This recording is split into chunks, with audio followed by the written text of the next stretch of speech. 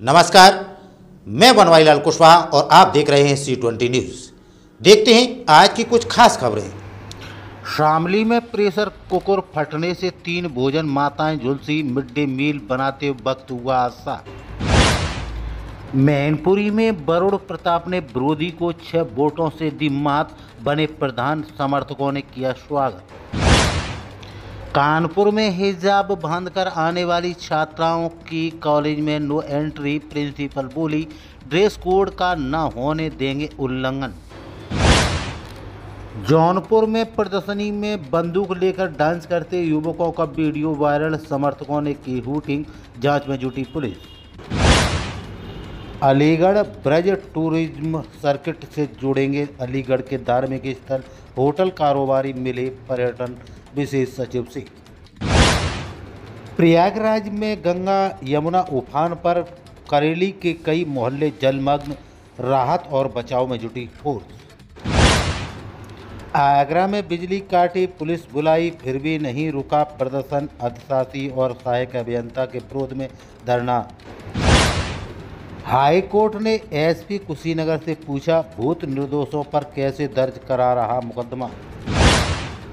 आगरा में झगड़ा करते हुए दो युवक नाले में गिरे, एक निकल आया, गुस्साए लोगों ने किया हंगामा। अलीगढ़ में बैंक फ्रॉड मामले में कारोबारी के घर सीबीआई का छापा, टीम की तलाश जारी। फिरोजाबाद के नगला दल में पिता के बाद लोगों ने बेटे को चुना, मुन्नीस बने प्रधान। झांसी में सड़क हादसा बच्चों से भरी स्कूली वैन नहर में गिरी ग्रामीणों ने बच्चों को निकाला।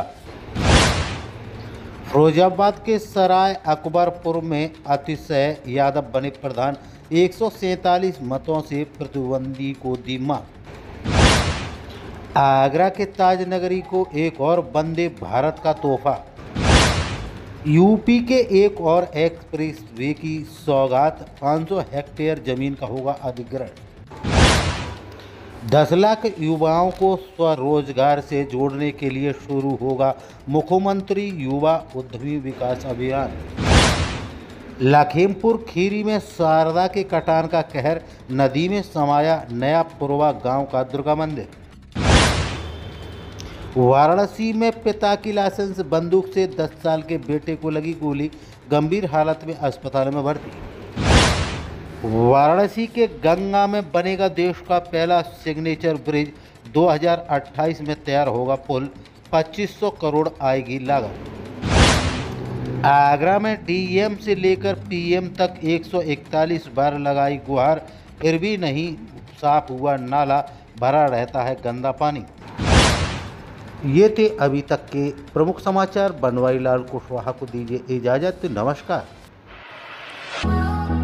हेलो दोस्तों, अगर आप अपने छोटे बिज़नेस को आगे बढ़ाना चाहते हैं और आप कम खर्च में बड़े टीवी चैनल की तरह विज्ञापन बनाना चाहते हैं तो आप हमारी टीम से संपर्क करें। हमारी टीम 24 घंटे आपके सहयोग के लिए तैयार है।